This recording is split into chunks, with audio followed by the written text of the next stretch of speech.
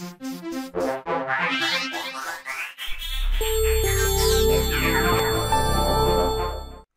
hi there. It's Rick here from the CAD Jewellery School, and just wanted to uh, get back to some people that had contacted me about Rhino Gold and um, the difference between Rhino Gold and Matrix Gold in terms of uh, parametric modelling. As the Rhino Gold users would know, uh, we have had parametric capabilities in the software for quite a few years now with most of the tools uh, and really from version 5 some of the tools um, started offering parametric capability. Just to sort of give you a quick overview of that.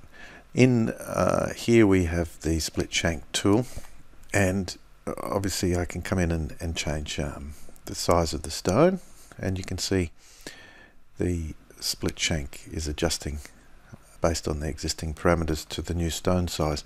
The same goes if you change the stone shape, you know, it, it will adjust to suit the new stone geometry.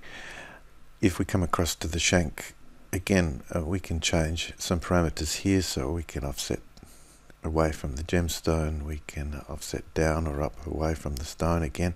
And again, if we come back and change our gemstone, uh, those settings will change and adjust based on the size of the new stone. So that's been there since version 6 in Rhino Gold. Okay, looking at the Cathedral Shank tool, same sort of thing is that if you change your stone size, you can see the shank is updating to reflect the new stone. Okay. So like we had with the split shank tool. And the same goes with the shank. If we come over here and adjust some parameters to do with that. Like the offset away from the stone.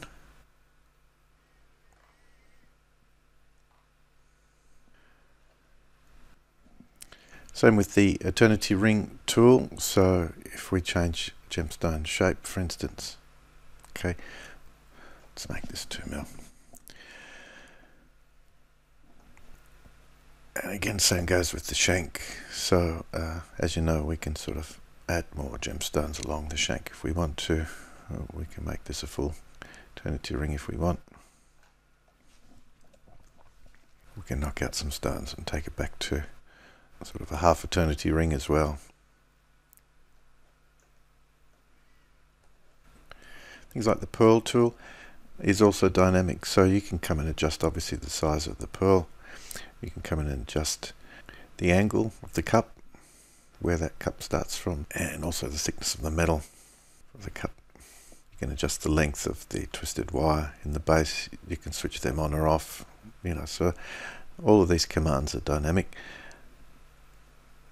So yeah, if you're a Rhino Gold user and you're concerned about parametric capabilities, I mean, you've got them. You've got them in Rhino Gold 6, uh, 6.5, 6.6. And for those people that have come from a matrix background and um, not used Rhino Gold before, uh, you'll see in the new Matrix Gold that there are uh, some of these Rhino Gold tools that have come across uh, the shank tool, the cathedral tool, the split shank tool, things like the rope, twisted rope, some of these dynamic uh, patterning tools, um, they were renamed in Rhino Gold 6.6 and that, that, naming convention seems to have come across into Matrix Gold uh, 2019. Tools like the Bailed tool in Rhino Gold, also in Matrix Gold uh, 2019.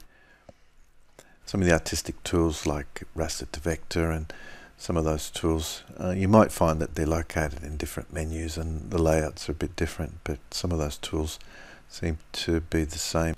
Alright, I hope that gives you an overview of the sort of parametric capabilities in Rhino Gold 6.6 and uh, helps you, I guess, think about whether you need to upgrade now or whether that's something that you might want to do at some stage later down the track. Again, if you've got some questions, just feel free to email me or add to the comments. Alright, thanks. Bye for now.